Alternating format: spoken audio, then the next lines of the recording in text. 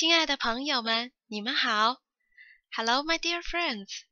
In this video, I'm going to show you how to make savory crisp tofu. 香香脆豆腐。Step 1.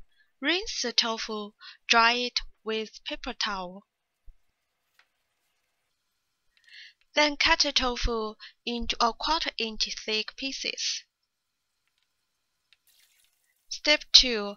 Add 1 cup of water and 2 anise stars into a small pot. Boil for 8 minutes, then set for later use.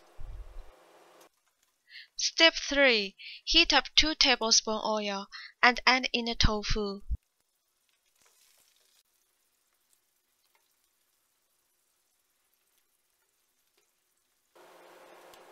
Keep frying the tofu until both sides become golden crisp. Adjust the oven heat to medium heat. This step may take about 20 minutes. Step 4. Add in 2 tablespoons soy sauce, 1 teaspoon sugar,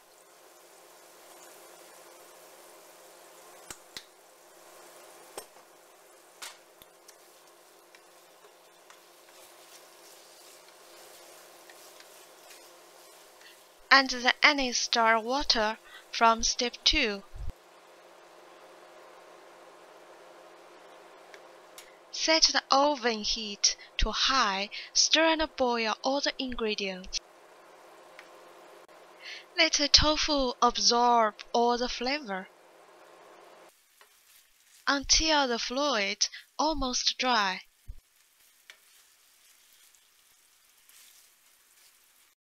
Step 5. Take out the tofu into the serving plate. Time to enjoy.